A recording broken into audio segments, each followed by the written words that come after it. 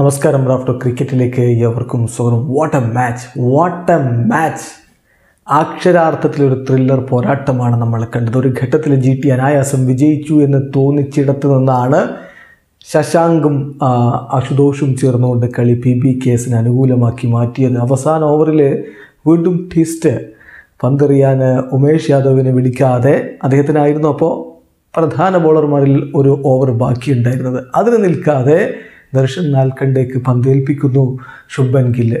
അദ്ദേഹത്തിന്റെ ഒരു മറുതന്ത്രം. പക്ഷേ ആദ്യ പന്തിൽ വിക്കറ്റ് എടുത്തെങ്കിലും പിന്നീട് ദർശൻ നാൽക്കണ്ടേക്ക് പ്രത്യേകിച്ചൊന്നും ചെയ്യാൻ പറ്റിയില്ല.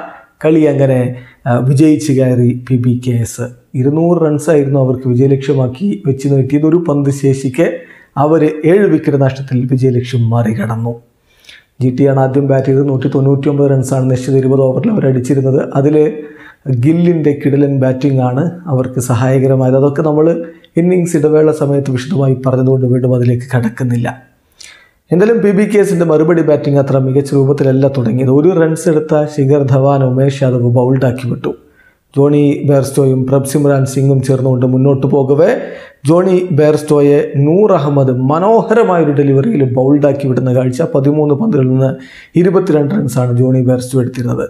പ്രഭ്സിമ്രാൻ സിംഗിന് കൂട്ടായിട്ട് സാം കർണത്തി. സാം ആകെ എടുത്തത് അഞ്ച് റൺസാണ് പിന്നീട് സിക്കന്ദർ റസയാണ് വന്നത്. പ്രഭ്സിമ്രാൻ സിംഗ് ഇരുപത്തിനാല് പന്തിൽ നിന്ന് അഞ്ച് ഫോറും ഒരു സിക്സറും അടക്കം മുപ്പത്തിയഞ്ച് റൺസ് അടിച്ചപ്പോൾ പതിനാറ് പന്തിൽ നിന്ന് പതിനഞ്ച് റൺസ് എടുത്ത സിക്കന്ദർ റസയും മടങ്ങിപ്പോയി. മോഹിത് ശർമ്മക്കായിരുന്നു അദ്ദേഹത്തിന്റെ വിക്കറ്റ് പിന്നീടാണ് ശശാങ്ക് സിംഗിനൊപ്പം ജിതേഷ് ശർമ്മ എത്തുന്നത്.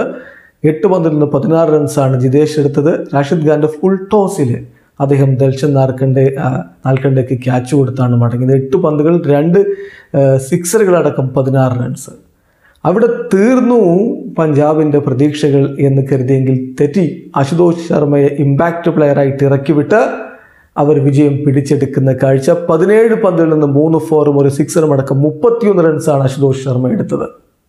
അവസാന ഓവറിൽ ആദ്യ പന്തിൽ ദർശൻ നാൽക്കണ്ടിക്ക് വിക്കറ്റ് നൽകിയാണ് അദ്ദേഹം മടങ്ങിയത്. അതേസമയം അവസാനം വരെ ക്രീസിൽ നിന്ന് ടീമിന്റെ വിജയ ലക്ഷ്യത്തിലേക്ക് ടീമിനെ എത്തിച്ചിട്ടാണ് ശശാങ്ക് സിംഗ് മടങ്ങിയത്. ഇരുപത്തി ഒമ്പത് പന്തുകൾ നേരിട്ട് ആറ് ഫോറും നാല് സിക്സറും അടക്കം അദ്ദേഹം അറുപത്തി ഒന്ന് റൺസ് എടുത്തു. അക്ഷരാർത്ഥത്തിൽ അദ്ദേഹമാണ് ഈ മത്സരത്തിലെ ഹീറോ എന്ന് തന്നെ പറയണം. ഒരു മികച്ച വിജയം കൈവിട്ടു. എന്ന് കരുതിയ മത്സരം തിരികെ പിടിച്ച് മികച്ച വിജയത്തിലേക്ക് പോയിരിക്കുന്നു. P B K S video അവസാനിക്കുന്നു. ക്രിക്കറ്റ് ലോകത്തെ കൂടുതൽ വിശേഷങ്ങളുമായി റാഫ്റ്റോക്സ് കൊണ്ടുവെത്താം